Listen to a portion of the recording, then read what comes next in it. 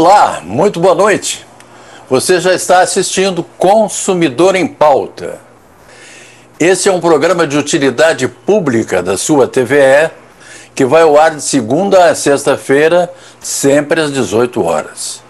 E eu fico numa alegria muito grande quando faço esse programa, porque esse é realmente um programa de utilidade pública. Aqui a gente acerta, a gente responde as perguntas de vocês feitas para saber alguma coisa sobre os direitos que nós todos temos. Então eu, é, para facilitar a vida de vocês, eu já vou colocar aí na tela os endereços que vocês podem usar para mandar perguntas aqui para o programa. Podem usar o nosso e-mail, que está aí na tela. Podem usar também o WhatsApp. Vocês ligam para o WhatsApp e mandam a pergunta, ou escrevem a pergunta, como queiram. Vocês podem ver, assistir esse programa ao vivo diretamente na página da TVE. TVE ao vivo. E vocês podem esperar um dia ou dois ou três no máximo que o programa já estará no YouTube também, para que vocês assistam na, uh, o programa integralmente.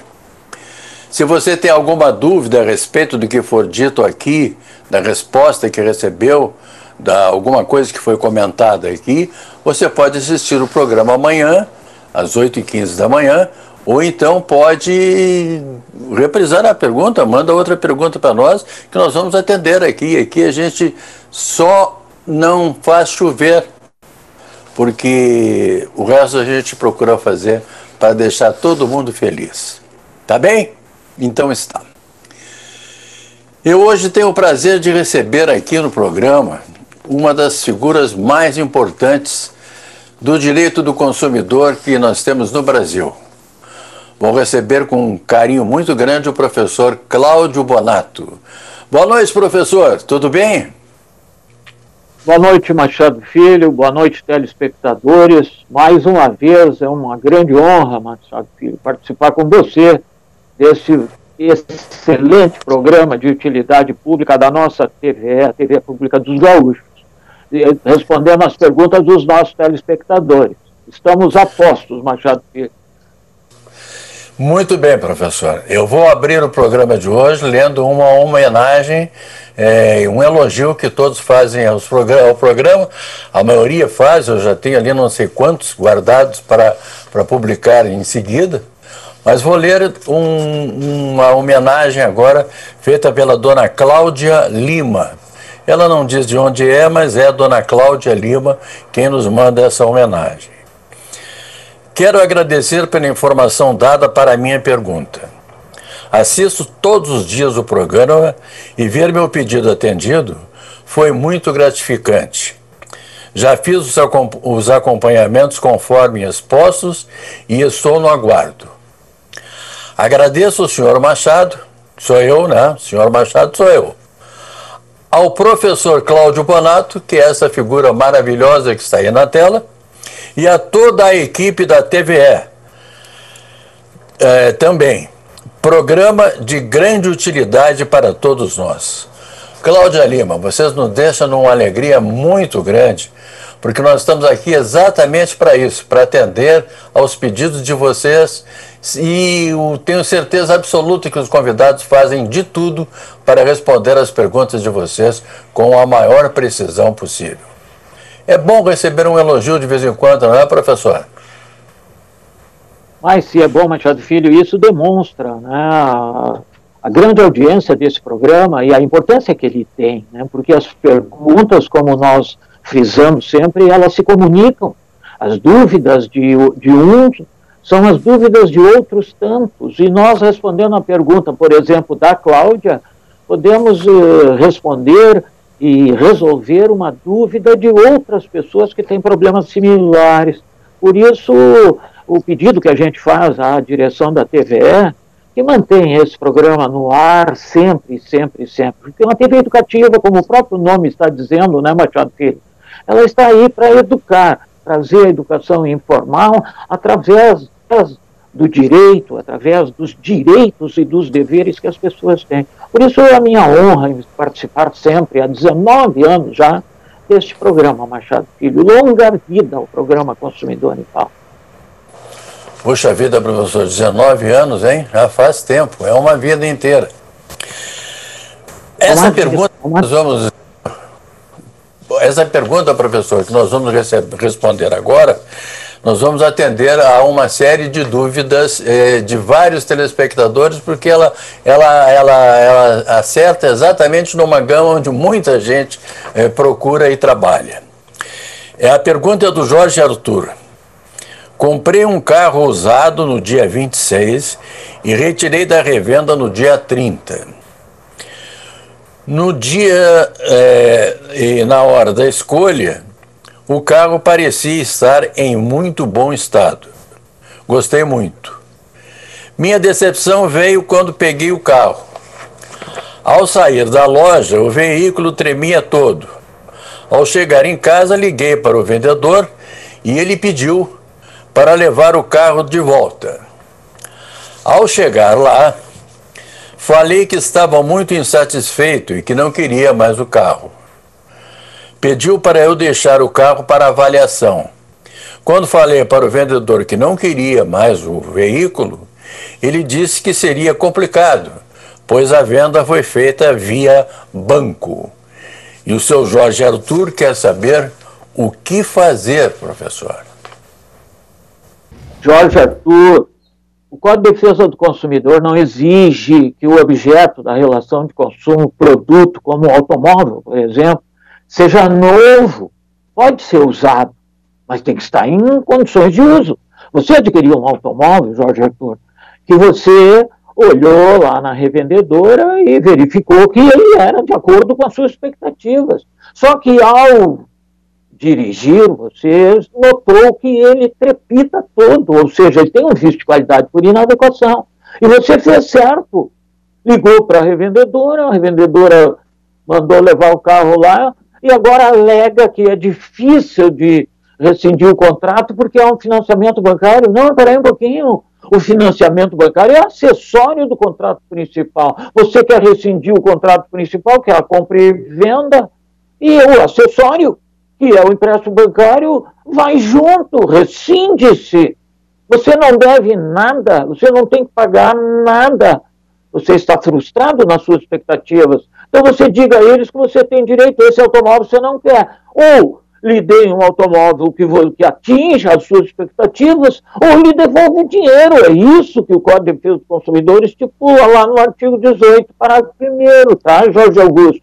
O direito está todo do seu lado. Diga a eles, sem ameaça alguma, que se eles não providenciarem imediatamente né, a troca do automóvel ou a devolução do seu dinheiro, você entrará em juízo contra a empresa e você ganhará ação. Por quê? Porque o direito está todo do seu lado, meu amigo. Tá? A próxima pergunta é da dona Lúcia, que mora aqui em Porto Alegre, professor. Ela diz o seguinte: durante mais de três anos, fui assinante de uma operadora de telefonia celular. Ela põe aqui qual é a operadora. E agora decidi fazer a portabilidade. Liguei para eles e me disseram que eu teria que pagar uma multa por quebra de fidelidade. Acontece que quando fiz o plano, a fidelidade era por um ano. Eles podem me cobrar isso? Pergunta a dona Lúcia, professora. Não, Lúcia, que beleza de pergunta. Quem foi? Lúcia, olha aqui, telespectador.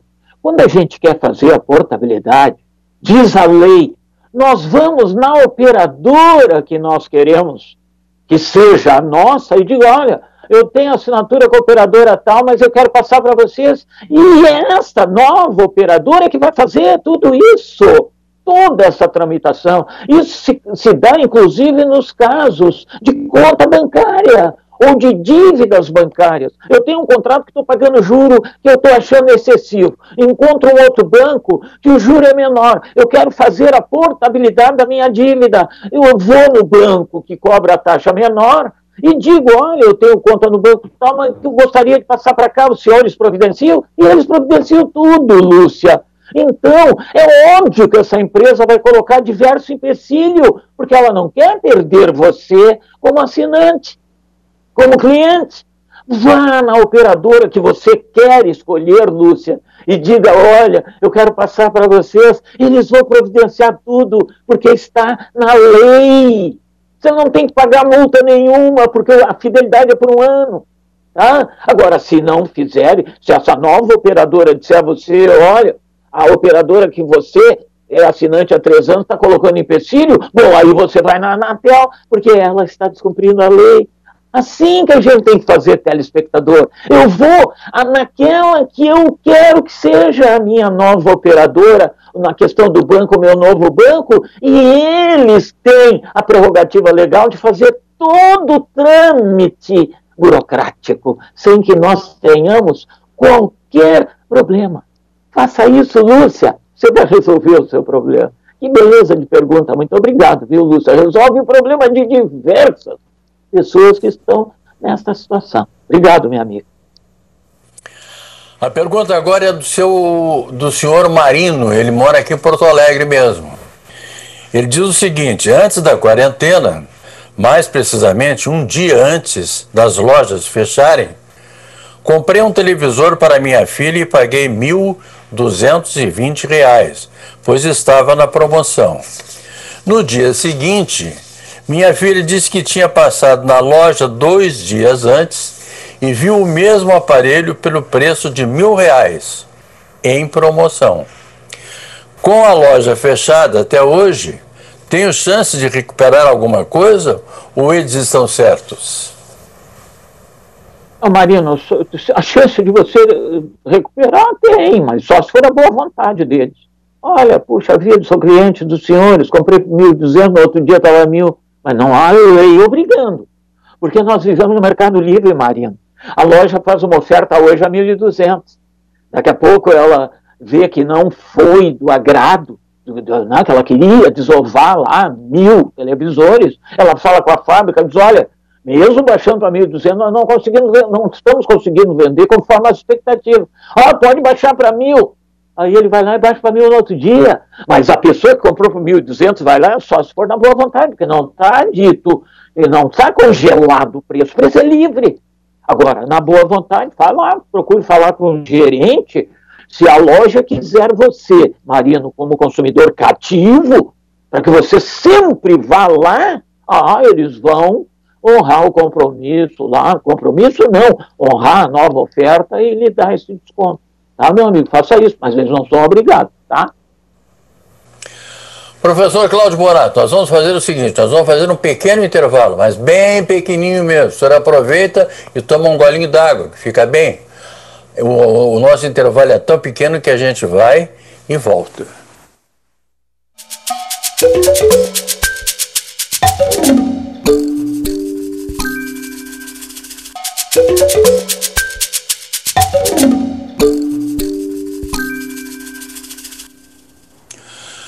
Você está assistindo o Consumidor em Pauta e eu hoje estou tratando de direito do consumidor. É um programa importante porque atinge a todas as classes, né? A todas as pessoas que assistem esse programa têm sempre uma dúvida a respeito do direito do consumidor.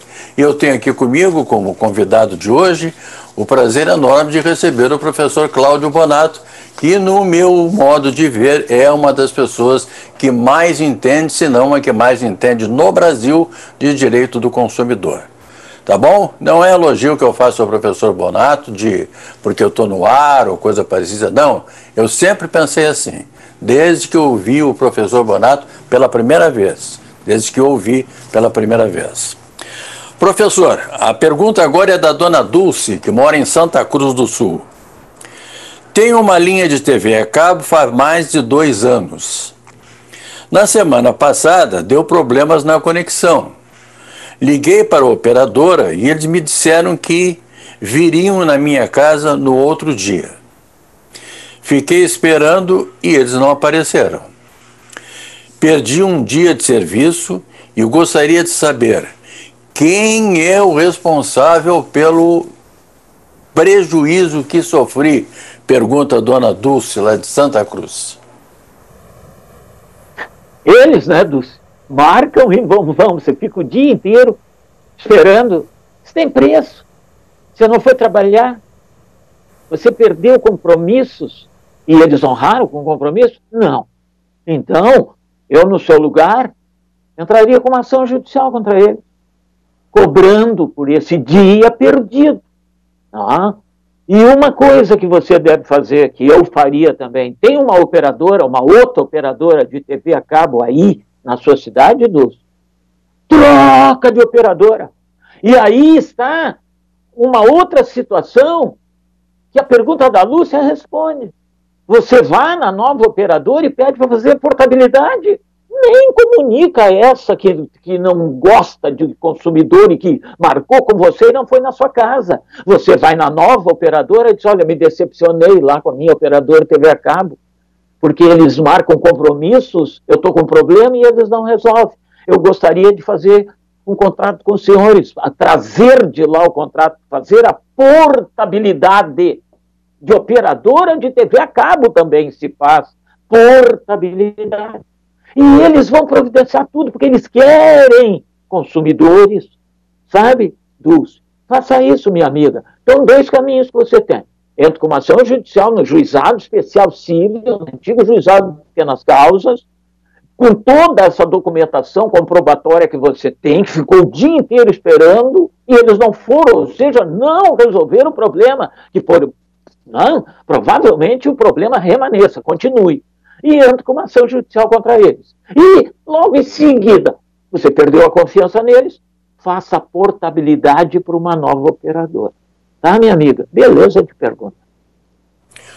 Professor Bonato, comigo aconteceu o seguinte: eu tinha uma, uma assinatura com uma TV a cabo que não foi feita por mim nem por, pela minha mulher, foi feita por uma prima da minha mulher que morava aqui no apartamento há muito tempo atrás.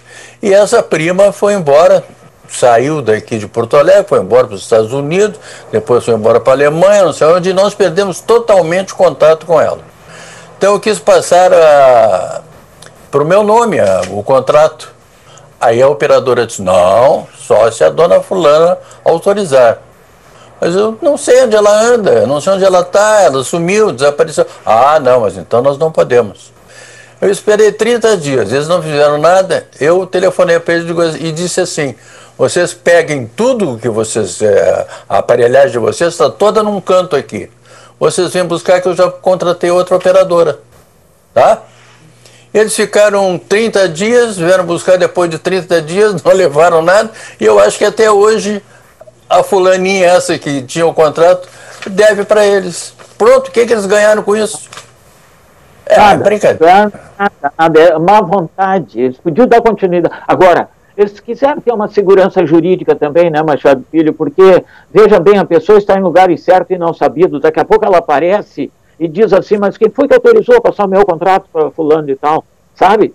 Tem pessoas que são assim. Não aconteceria com vocês, porque é parente. Mas eles, o jurídico orienta não, que eles não façam isso, porque a pessoa que assinou o contrato, né, que você está pagando por ela, eles perderam, mas é a questão da segurança jurídica, sabe? Então eu, eu entendo, eles não querem arrumar problema no futuro, só por causa disso. Mas é óbvio que eles saíram perdendo, né? Porque você cancelou, fez um contrato com a nova. Você até poderia dizer, ah, então tá, vem buscar tudo aqui, porque ela está em lugar certo, não sabia, não quero mais. Eu gostaria de fazer um contrato no meu nome. E você faria no seu nome.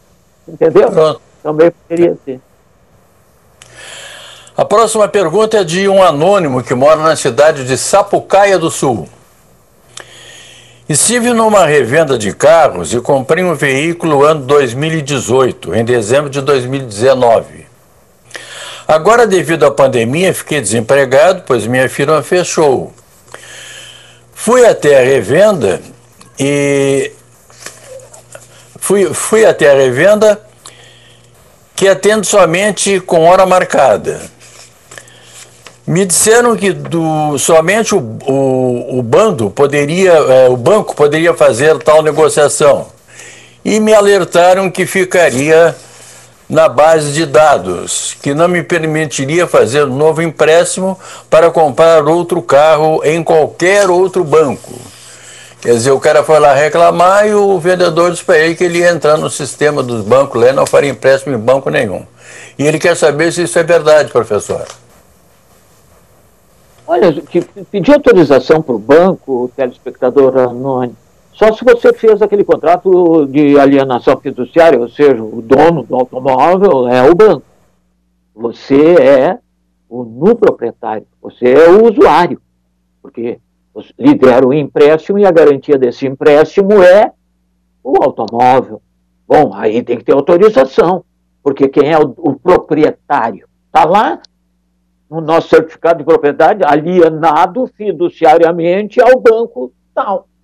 Por que, que está lá? Porque nós não podemos passar esse automóvel para um terceiro sem autorização do proprietário. Porque nós somos só no proprietário. Nós não temos, não, nós só temos a posse, mas não temos a propriedade integral do bem. Aí sim, se você assinou um contrato de alienação fiduciária do, do bem do automóvel, precisa de autorização do banco, sim, tá? para renegociar esse contrato. Agora, se você ficar cadastrado lá negativamente, bom, isso aí é balela, não tem nada. Se você está honrando com seus compromissos, telespectador anônimo, não tem nada que ficar cadastrado. Agora, se você deixar de pagar, bom, aí eles vão lhe colocar, o banco vai lhe colocar no tal de Serasa aí, e no SPC também, mas aí por falta de pagamento. Vá lá falar com o gerente do banco, conversa, explica a situação. olha, eu não tenho, eu perdi o emprego e tal. Ah, não dá para fazer negociação. Entra no judiciário da sua cidade, o judiciário está fazendo um trabalho belíssimo com a Câmara de Conciliação. O judiciário vai chamar você, vai chamar o responsável legal por este banco, vai colocar à frente um do outro e o juiz procurará um denominador comum que satisfaça os dois. É assim que a gente age em sociedade. Não é se escondendo, se omitindo. Não, vá lá, olhando olho no olho com o gerente do banco e diga a ele, explica, olha, vamos fazer um acordo. Tenho certeza que você vai resolver. Serasa está chamando as pessoas que devem, perdoando 80%, 75% do débito, porque eles querem consumidores com nome limpo para movimentar a economia. Isso é importante para todos na vivência em sociedade. Faça isso. Tenho certeza que você vai resolver o problema. Que beleza de pergunta. Professor Cláudio Bonato, tive um prazer enorme em conversar com o senhor aqui no programa, mais uma vez, prestar esses esclarecimentos tão importantes para a população que assiste o consumidor em pauta. Muito obrigado, professor. Volto sempre, dê um, um abraço e um beijo respeitoso na professora Dalva, tá? Que todos nós obrigado. mandamos. Lembrando lembrando a vocês que nessa terça-feira eu estarei aqui. Mais uma vez, vou tratar de direito do trabalho. A todos vocês, muito obrigado, muito boa noite e até lá.